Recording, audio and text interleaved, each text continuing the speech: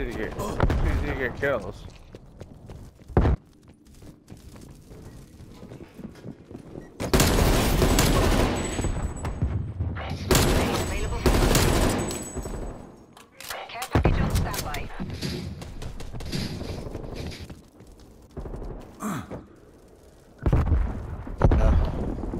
It's literally one hit